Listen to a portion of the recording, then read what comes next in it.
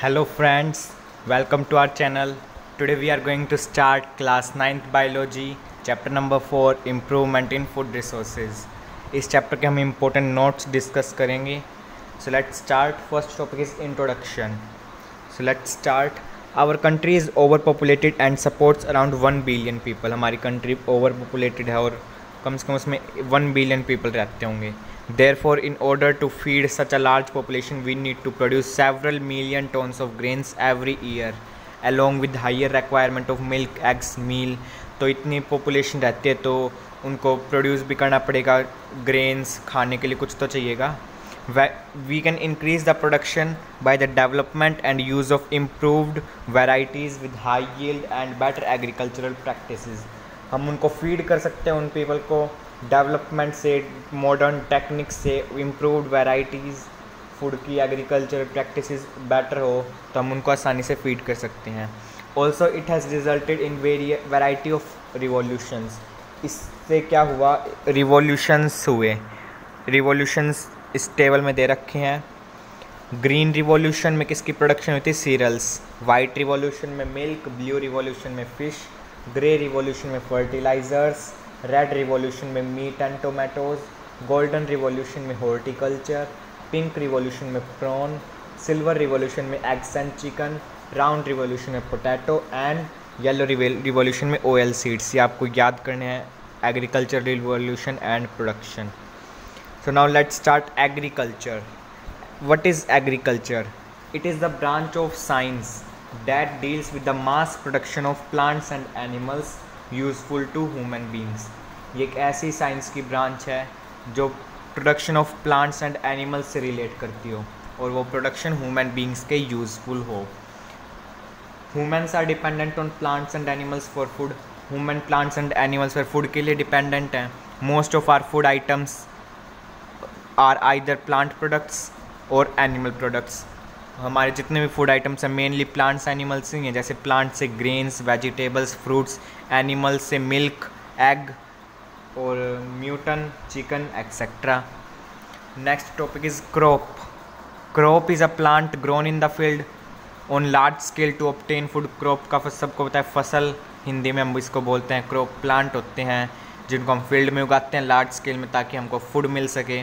Crops are cultivated by human human he crop को cultivate करेंगे।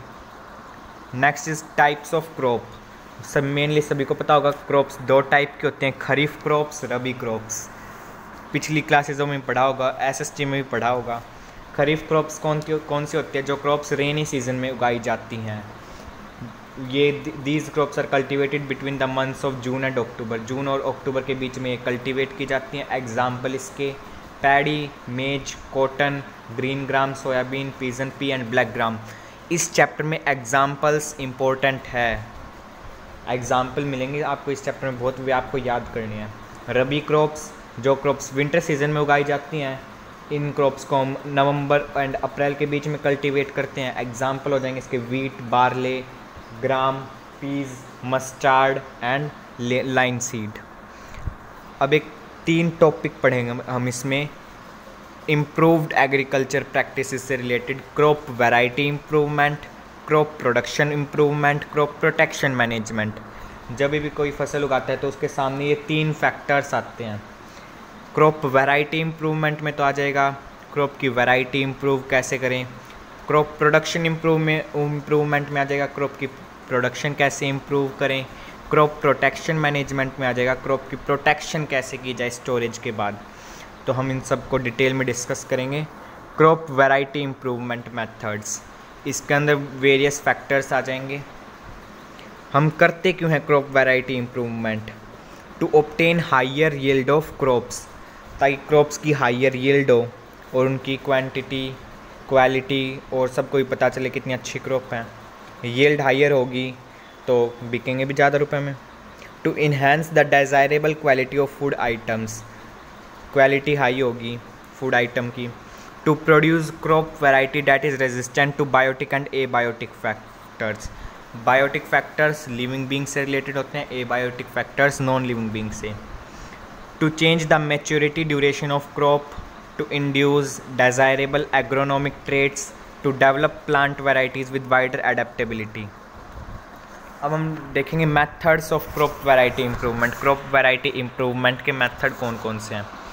First method is hybridization what is hybridization it is the method by which two characteristics present in one organisms can be brought together in one organism. Hybridization वो method जिसमें एक plant के अंदर, एक organism के अंदर दो करेक्टरिस्टिक्स हैं। तो हम उनको, दोनों करेक्टरिस्टिक्स को टुगेदर एक ऑर्गेनिजम्स में ला सकते हैं। example the farmer will able to produce nutritionally rich grains which can be then cultivated throughout the year second method is introduction ये ओल्डेस्ट मेथड है क्रॉप इम्प्रूवमेंट का it involves taking a new variety of a plant from an area where it grows naturally to a region where it does not occur before artificial selection higher classes में भी आएगा artificial selection it involves picking up of plants With better traits for further multiplication इस artificial selection के अंदर हम उन plant category को pick करेंगे जिसके पास बैटर ट्रेड्स हैं। Recombinant D N A technology genes are responsible for features present in an organisms जो ऑर्गेनिजम्स के अंदर फीचर्स प्रेजेंट होते हैं, उसके लिए जीन्स रिस्पॉन्सिबल होते हैं। Therefore another method to grow plants with the desired characteristics is to incorporate genes responsible for that character into plants ये थे आपके methods of crop variety improvement अब हम देखेंगे crop production management improvement crop production improvement के अंदर आपके तीन components आ जाएँगे. न्यूट्रिएंट मैनेजमेंट हम न्यूट्रिएंट्स कैसे मैनेज करें क्रॉप्स में? सेकंड आ जाएगा इरिगेशन क्रॉप्स के अंदर इरिगेशन कैसे मैनेज होगी? क्रॉपिंग पैटर्न्स आ जाएगा third topic so let see topic first nutrient management nutrients के मेन सोर्सेज हैं air soil and water total हमारे पास 16 न्यूट्रिएंट्स होते हैं, जो प्लांट्स को उगने के लिए चाहिए। उनमें से दो न्यूट्रिएंट्स कार्बन और ऑक्सीजन हमको एयर से मिलते हैं, हाइड्रोजन हमको वाटर से मिल जाता है। दीज थ्री एलिमेंट्स जो हुए कार्बन, ऑक्सीजन और हाइड्रोजन, ये नॉन असेंशियल एलिमेंट्स होते हैं, जो हमको सोयल से नहीं मिलते। अब जो सिक्सटीन में से तीन तो हो गए, कार्बन, ऑक्सीजन, हाइड्रोजन, बच गए थर्टीन। वे थर्टीन न्यूट्रिएंट्स हमको सोयल से मिलते हैं। सोयल से मिलते हैं, उनको हम बोलते हैं मिनरल न्यूट्रिएंट्स और असेंशियल न्यूट्रिएंट्स प्लांट न्यूट्रिएंट्स को हम दो कैटेगरी में डिवाइड कर देंगे micro nutrients macro nutrients micro nutrients जो न्यूट्रिएंट्स हमको स्मॉल क्वांटिटीज़ में चाहिए. मैक्रो न्यूट्रिएंट्स जो न्यूट्रिएंट्स प्लांट्स को लार्जर क्वांटिटीज़ में चाहिए. नीचे फिर आपको एक टेबल दे रखी है मैक्रो न्यूट्रिएंट्स की और माइक्रो न्यूट्रिएंट्स की. ये आपको देखनी है एग्ज़ाम्पल है इनके. आपको पढ़नी है। Manures and fertilizers what is manure eight class में ही पढ़ा होगा मैन्योर एंड फर्टिलाइज़र के बारे में, मैं फिर बता दूँगा।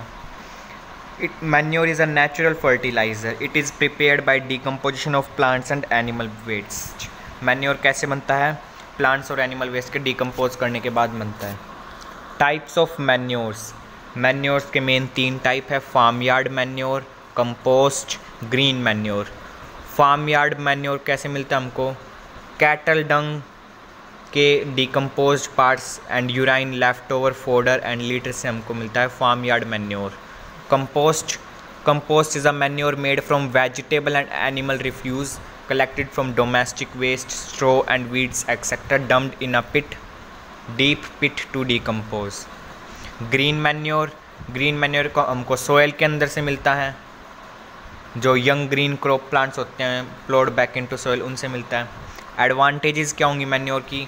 It enriches the soil with organic material called humus to the soil soil की मटेरियल को इनरिच करेगा, ये इंक्रीज़ करेगा। वाटर होल्डिंग कैपेसिटी इंक्रीज़ करता है ये सोयल की। It also aerates the soil by making it porous soil को पोरस भी बना देता है, ये गिली गिली सी बना देता है। It helps in growth of micro organisms micro organisms की ग्रोथ में इम्पोर्टेंट है ये। It improves the soil texture and increase crop production soil की टेक्सचर को भी इम्प्रूव करता है और क्रॉप प्रोडक्शन को भी इंक्रीज़ करने में हेल्पफुल है। अब हम पढ़ेंगे डिसएडवांटेजेस ऑफ़ मैन्योर्स मैन्योर्स के डिसएडवांटेजेस भी हैं। Manures are bulky with low nutrient content यानी भारी होती है मैन्योर और न्यूट्रिएंट कंटेंट भी लो होता है इनमें। Inconvenient to handle store and transport बहुत सारी परेशानी है इसको हैंडल करने में स्टोर करने में भी और ट्रांसपोर्टेशन में भी। They are not nutrient specific nutrients of manures are release slowly इनके न्यूट्रिएंट स्लोली स्लो रिलीज़ होते हैं। बहुत टाइम लगेगा क्रॉप्स तक पहुँचने में इनको फिर। Next is fertilizers fertilizers are plant nutrients which are commercially available fertilizers plant nutrients होते हैं जो कहीं भी अवेलेबल हो जाते हैं। ये ऑर्गेनिक और इनऑर्गेनिक होते हैं नेचर में दोनों टाइप के होते हैं। Advantages they can readily dissolve in water water में जल्दी डिजोल्व हो जाएँगे। प्लांट्स के लिए इजीली अवेलेबल हो जाते हैं। नाइट्रोजन फॉस्फोरस और पोटेशियम के गुड सोर्सेज हैं ये फर्टिलाइज़र्स न्यूट्रिएंट स्पेसिफिक होते हैं और स्मॉल अमाउंट में चाहिए हमको क्रॉप्स में डालने के लिए। Now second topic is disadvantages of fertilizers they get washed away because of irrigation अगर हम इरीगेशन करेंगे तो फर्टिलाइज़र्स वॉश्ड अवे हो जाते हैं। कॉन्टीन्यूस यूज़ ऑफ़ फर्टिलाइज़र्स यानी हम लगातार यूज़ करेंगे फर्टिलाइज़र्स का तो वो क्रॉप और सोयल को भी हार्म करेगा। Reduction of soil fertility soil की फर्टिलिटी को भी रिड्यूस करेगा और ये एक्सपेंसिव भी होते हैं तो हर कोई इसे ख़रीदने की, ख़रीद नहीं पाता। Now our second component is irrigation irrigation सबको पता होगा।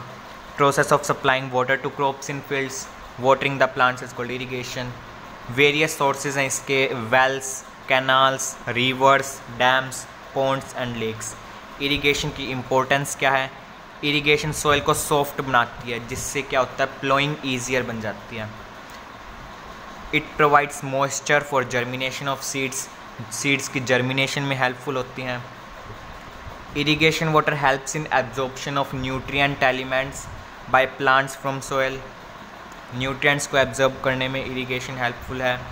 It is essential for the growth and elongation of the roots of the crop plant as roots of crop plants fail due to develop and elongate in dry soil irrigation roots की growth और elongation में भी important है. Now we will discuss irrigation system irrigation के mainly आपके ये systems हैं.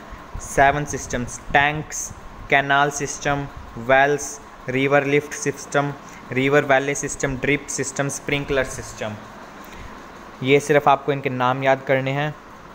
देख लेना आप इनको। Next is cropping patterns cropping patterns में हम दो मेथड डिस्कस करेंगे। Crop rotation multiple cropping crop rotation का मतलब बताइए।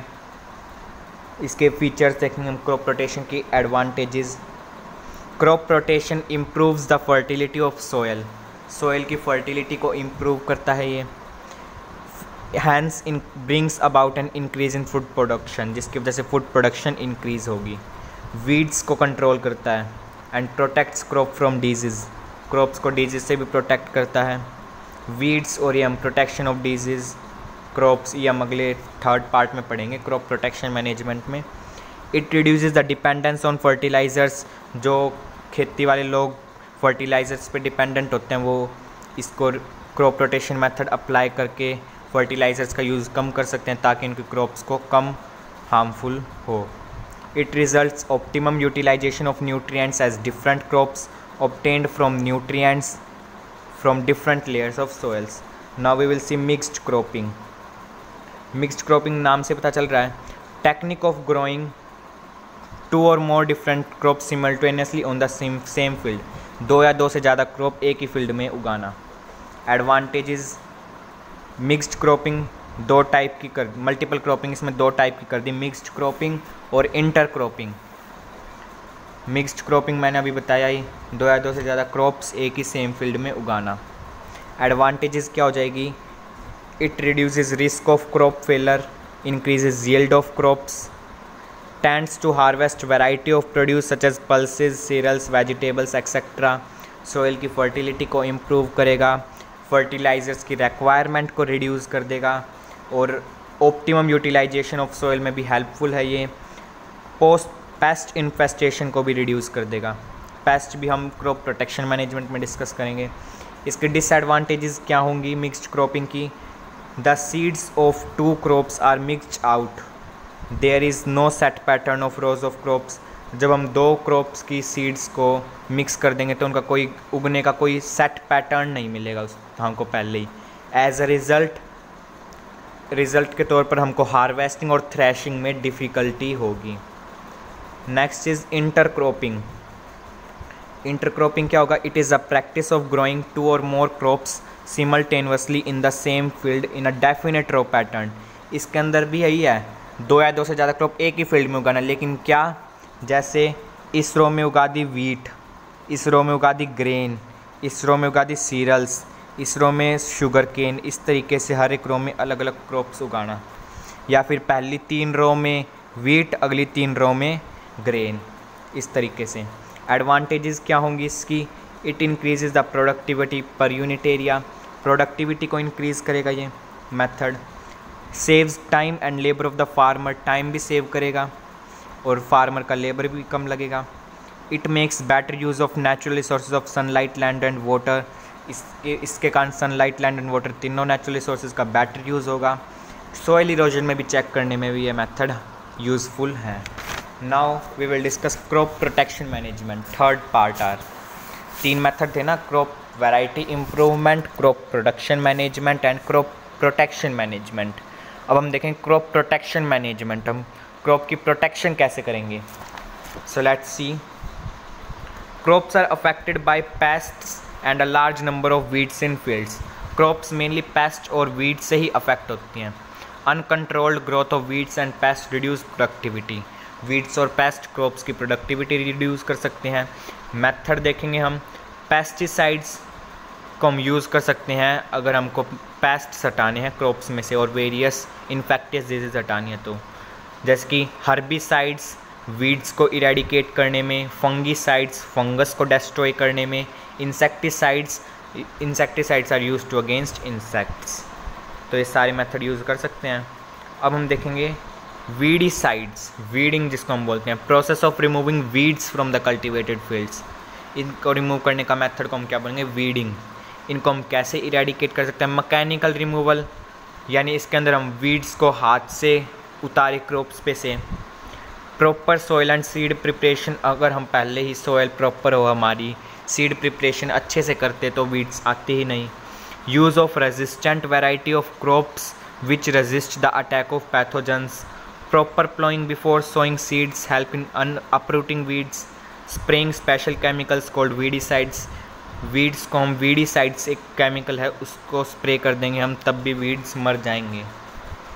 नेक्स्ट टॉपिक है स्टोरेज ऑफ़ ग्रेन्स हार्वेस्टिंग के बाद स्टोरेज का टॉपिक आता है ग्रेन्स को स्टोर करने के लिए स्टोर हाउसेस चाहिए। उसमें भी बायोटिक और ए बायोटिक फैक्टर्स आ जाते हैं। बायोटिक फैक्टर्स में तो स्टोरेज में आ जाते हैं insects rodents fungi mites and bacteria जिससे क्रॉप्स ख़राब हो जाएँगी। ए बायोटिक फैक्टर्स में आ जाता है। क्रॉप्स अगर ज़्यादा दिन तक स्टोर रही तो मॉइस्चर ह्यूमिडिटी एंड टेम्परेचर हो जाएगा तो क्रॉप्स में से स्मेल आने लगेगी। Now let's see preventive measures to be taken before storing of food grains food grains को स्टोर करने के लिए हमको पहले कुछ प्रिवेंटिव मेजर्स लेने चाहिए। Maintenance of hygiene hygiene maintenance करनी चाहिए स्टोरेज की जगह पर। जैसे कि फ्लोर्स क्लीन कर दिए ग्रेन्स को स्टोर करने से पहले। Containers use for storing grain should be clean and dry with air tight lids Jin containers में हम ग्रेन्स को स्टोर करेंगे, वो क्लीन होने चाहिए। Frequent chemical fumigation to kill pest fungi etcetera उन पर हमको केमिकल का छिड़काव करना चाहिए पेस्ट और फंगी ताकि किल मर जाएँ। Proper aeration and ventilation to control moisture and temperature levels. Aeration और वेंटिलेशन होनी चाहिए खिड़की होनी चाहिए ताकि हवा पास होती रहे उसमें से क्रॉप्स में से और स्मेल ना आए। Next is drying the grains can be dried in the sun और बाय सन और by slowing blow blowing hot air on them grains कैसे ड्राई हो सकते हैं? हम उनको धूप धूप में रख दें तो वे क्रॉप्स ड्राई हो जाएँगी। Maintaining storage container storage containers को मेंटेन करें। केमिकल ट्रीटमेंट करें हम कुछ और use of improved storage structures तो ये कुछ मेथड से grains of storage storage of grain से पहले करने के लिए। Now let see next topic next topic is animal husbandry what is animal husbandry the branch of science which deals with the study of various breeds of domesticated animals and their management for obtaining better products and services is known as animal husbandry. Animal husbandry branch एक science की ऐसी, जिसमें various breeds of animals के बारे में हम study करते हैं और उनको मैनेजमेंट कैसे करें। ताकि हमको बेटर प्रोडक्ट्स और सर्विसेज़ मिल सकें। Cattle farming a dairy farm rears and rears cows and buffaloes यानी एक वो डेयरी फार्म जो काउज और बफेलोज की, को रियर्स करे, जो हमको मिल्क प्रोवाइड करती है, वो होंगी cattle farming cattle breeds mainly दो टाइप की होती हैं। बोस इंडिकस जिसको हम काओ बोलते हैं बोस बुबैलिस जिसको हम बफेलो मिलते हैं, बोलते हैं। इन दोनों से ही हमको मिल्क मिलती है। Next is animal breeding animal breeding is the method of mating closely related individuals animal breeding एक ऐसा मेथड जिसमें हम दो क्लोजली रिलेटेड इंडिविजुअल्स को मेट करेंगे ब्रीड करेंगे। In this process two individuals of desirable characters are selected as parents इस method में हम दो इंडिविजुअल को जिनके डिज़ायरेबल करेक्टर्स उनको हम पेरेंट्स सेलेक्ट करेंगे। दे आर देन क्रॉस्ड तो हम उनके बीच में क्रॉस कर देंगे, ताकि हमको एनिमल की न्यू ब्रीड मिल सके। Next topic is breed breed होता क्या है? It is a special variety of animals within a species ये एक एनिमल्स की स्पेशल वेराइटी होती है, जो स्पीशीज़ के अंदर ये कैटेगरी में आती हैं। मेनली ये तीन टाइप की होती है लोकल और देसी और indigenous breed they are high yielding variety of Indi indian breeds foreign or exotic breed they have been imported from foreign and reared widely in india improved breeds they are hybrid that possesses characteristics of both indigenous and exotic improved breeds के अंदर indigenous और foreign की दोनों breed की characteristics होती हैं next is farm management practices इसके अंदर हम चार के बारे में पढ़ेंगे feeding housing, grooming and health care. Feeding, cattle को हम कैसे फ़ीड कर सकते हैं? दो कंपोनेंट्स आ जाएँगे इसके अंदर कंसनट्रेट्स और रफेज कंसनट्रेट्स कौन से होते हैं? जो न्यूट्रिएंट्स में रिच होते हैं, जैसे carbohydrates proteins fats minerals and vitamins roughage they are coarse and fibrous substance which is low nutrient content इन दोनों चीज़ों से हम कैटल को फ़ीड करेंगे। Next is housing proper shelter देनी चाहिए हमको कैटल को। ये इसका इंपॉर्टेंट पार्ट है एनिमल हस्बेंड्री का। ग्रूमिंग कैटल्स को हमको मतलब ग्रूम करना चाहिए रेगुलरली ताकि उनका डर्ट और हेयर लॉस हो ना हो। डर्ट रिमूव हो जाए और हेयर लॉस से बच जाए। हेल्थ केयर कैटल्स को भी इन्फेक्टियस डिज़ीज़ हो सकती हैं, जैसे rinderpest cowpox anthrax salmonellosis and tuberculosis etcetera B part is poultry farming poultry is the rearing of domesticated birds poultry के अंदर आ जाएँगे आपकी birds chicken ducks geese turkey for eggs and meat ये दो टाइप की पोल्ट्री होते हैं broilers and layers now we will discuss poultry breeds poultry breeds को हम तीन कैटेगरी में डिवाइड कर सकते हैं इंडिजीनियस और देसी breeds exotic breeds and cross breeds indigenous breeds these breeds are strong ये ब्रीड स्ट्रॉन्ग होती है और इनके अंदर नेचुरल इम्यूनिटी होती है कि ये कॉमन डिज़ीज़ से फाइट कर सकें। Exotic breed exotic foreign breeds होते हैं। ये इंडिया में सक्सेसफुली एक्यूमुलेटेटाइज हो गई। इंडिया में आ गई successfully they have high laying capacity egg laying capacity इनकी हाई होती है। लेकिन उनके अंदर लेस फ्लैश होता है इंडिजीनियस ब्रीड्स के कंपैरिजन में। Cross breeds they are improved breeds of poultry need of poultry farming. Poultry farming की नीड क्यों है हमको? Egg production and meat production poultry farming हमको एग देती है और मीट देती है। इसलिए इसकी नीड है। C part is fish production fish is an aquatic food which is rich source of proteins fish एक हमारे लिए एक्वेटिक फ़ूड है वाटर सोर्स फ़ूड है, जो प्रोटीन्स में रिच होता है। बहुत ज़्यादा न्यूट्रिएंट्स होते हैं इसके अंदर और इजीली डाइजेस्टेबल भी होता है। फिशरीज़ कौन से होते हैं? जिनका occupation of fish prawns lobsters oysters को कैच करने का। इसके बेसिस पर हम फ़िश को दो टाइप में डिवाइड कर सकते हैं capture fishing culture fishing capture fishing is the process of obtaining fish from natural resource both marine and inland यानी कैप्चर फिशिंग में तो वे आएँगी फिशेज़ जिसको हम मैराइन और इनलैंड दोनों से ऑप्टेन कर सकें। Culture fishing it is a practice of farming fish इसके अंदर फ़िश की फ़ार्मिंग की प्रैक्टिस होती है, जैसे कि इसको हम पीसी कल्चर भी बोलते हैं। Pisciculture what is pisciculture important है ये। Now we will discuss some important terms छः इम्पोर्टेंट टर्म्स है aquaculture marine fisheries mariculture inland fisheries culture fishery capture fishery aquaculture the growing of various types of aquatic animals that are of high economic value, such as prawns, lobsters, fish, crabs etc is called aquaculture. इसी तरीके से आप ये पढ़ लेना marine fisheries mariculture inland fisheries culture fishery और capture fishery ये terms important हैं. Now our last topic is bee keeping the practice of bee keeping is called apiculture bee keeping की प्रैक्टिस को हम एपीकल्चर बोलते हैं. अब एपीकल्चर क्या होता है? It is rearing care and management of honey bees for obtaining products like honey propolis bee venom etcetera यानी कैपिकल्चर ऐसी प्रैक्टिस जिसके अंदर हम बी बी को रियर करते हैं, उनकी केयर करते हैं मैनेजमेंट करते हैं, ताकि हमको हनी मिल सके प्रोपोलिस मिल सके बी वैनम मिल सके। अब बी कीपिंग की इम्पोर्टेंस क्या क्या है? It provides honey a valuable nutrient nutritional food bee keeping से हमको हनी भी मिलता है बी से। बीज वैक्स भी मिलता है हमको इससे, प्रोपोलिस मिलता है हमको इससे, जो एक एंटीसेप्टिक और एंटीबायोटिक भी है। बी वैनम मिलता है हमको इससे, जो रियूमेटोड अर्थरिटीज़ में की ट्रीटमेंट में काम आता है। Honey bees are excellent pollinating agents honey bees pollinating agents भी एक्सीलेंट हैं, और देयर फॉर ये एग्रीकल्चरल यील्ड को इंक्रीज़ करने में हेल्पफुल है। Next is common species of honey bee honey bee की कॉमन स्पीशीज़ कौन कौन सी हैं? एपिस सेरेना इंडिका जिसको हम इंडियन बी बोलते हैं। एपिस डोरसट जिसको हम रोक बी बोलते हैं। एपिस मेलिफिरा जिसको हम इटालियन और यूरोपियन बी बोलते हैं। एपिस एडमसोनी जिसको हम साउथ अफ्रीकन बी बोलते हैं। और next topic is management of high yield of honey high yield of honey के मैनेजमेंट कैसे कर सकते हैं? दो आ जाएँगे मैनेजमेंट में बिहाइव और एपायरी लोकेशन बिहाइव एक मतलब ये वे पॉइंट है जहाँ हम हनी की गुड क्वालिटी और हाई यील्ड ऑप्टेन कर सकते हैं। Beehive it is made of series of square boxes without tops और बॉटम्स ये स्केयर बॉक्सेस की तरह बने होते हैं जिसके ऊपर टॉप और बॉटम नहीं लगा हुआ कुछ भी। This hive has the floor at the bottom bottom में तो इसमें एक फ्लोर है and a crown board at the top और ऊपर टॉप पर एक क्राउन बोर्ड है। और चारों तरफ़ रूफ है।